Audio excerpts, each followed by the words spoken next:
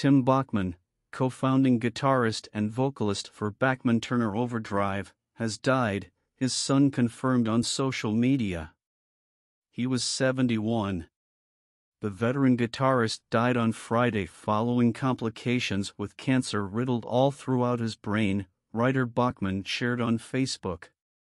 My dad passed this afternoon. Thank you everyone for the kind words, writer wrote. Grateful I got to spend some time with him at the end. Grab loved ones and hug them close, you never know how long you have.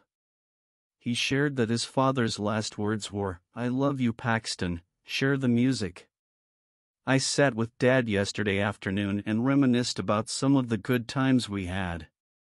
He was pretty out of it most of the time, but at one point looked up at me with really big wide eyes and said, I love you Paxton, keep sharing the music, and then passed back out, writer posted Friday.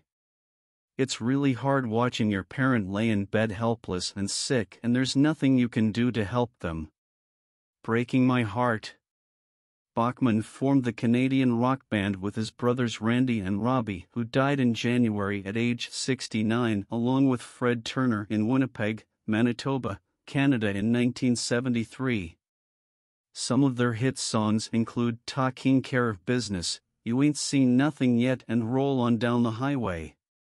Tim Bachman died on Friday following complications with cancer riddled all throughout his brain. Tim Bachman formed the Canadian rock band with his brothers Randy and Robbie along with Fred Turner in Winnipeg, Manitoba, Canada in 1973. Tim played with BTO on their first two albums Bachman Turner Overdrive and Bachman Turner Overdrive 2, both released in 1973. He left the group in 1974 and was replaced by Blair Thornton, but rejoined a decade later in 1984 for their reunion tour and continued to perform on tour through the 80s. After his music career, Tim worked as a realtor in Alberta, Canada. Tim Bachman dead at 71. Bachman Turner Overdrive guitarist was a classic rock legend story by Brooke Steinberg.